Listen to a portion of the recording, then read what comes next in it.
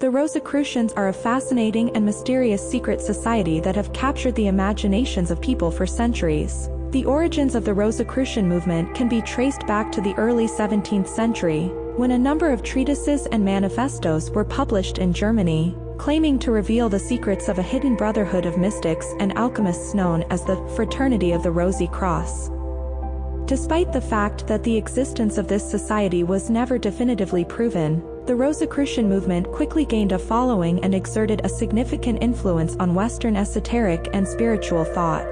The central figure in the Rosicrucian tradition is Christian Rosenkreutz, a legendary figure said to have lived in the 14th century and to have traveled to the Middle East and Asia, studying the secrets of alchemy, mysticism, and the occult.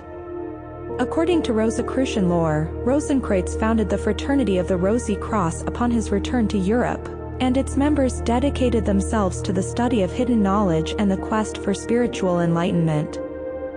One of the defining features of the Rosicrucian movement was its focus on alchemy, the ancient art of transforming base metals into gold. While alchemy was widely regarded as a discredited practice in the scientific community, the Rosicrucians saw it as a metaphor for the spiritual transformation of the self. They believed that through the study of alchemy, one could unlock the secrets of the universe and attain spiritual enlightenment. In addition to their interest in alchemy, the Rosicrucians were also known for their belief in esoteric knowledge. They saw themselves as the guardians of a hidden wisdom that was not meant for the masses, and they held that their knowledge could only be passed on to those who had proven themselves worthy through a process of initiation.